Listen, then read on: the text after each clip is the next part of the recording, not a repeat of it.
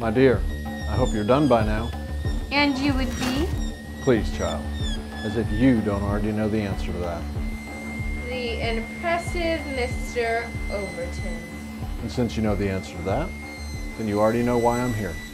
And I care as much about that as I care about what your name is. This is why they say youth is wasted on the young. Do they also say intelligence is wasted on the greedy? Touche. But let's not go about with the dramatics. We need it. You need what exactly? Stop being coy, child. We both don't have the time.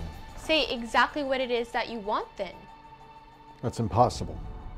Not for me. Well, you are, shall we say, different. Hmm. You disagree? Only with the use of adjective. I would have used better. Your humility is awe inspiring.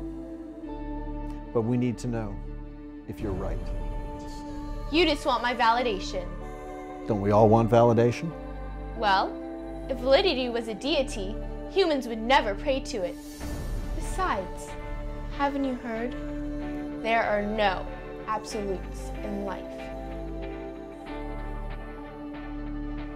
You know they want an update. What makes you think I care? This isn't an erector set or Legos. This is something that requires precision. What do you think this is? You think this is just just art? It's not. You see this? These fires, this not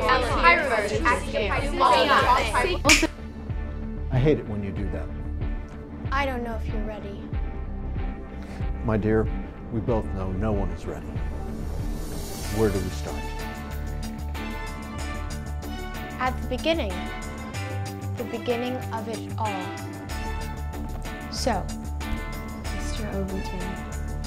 Yes, my dear. This is the key to the algorithm. The algorithm that puts everything back into balance. So I have to ask you. Are you sure you're ready?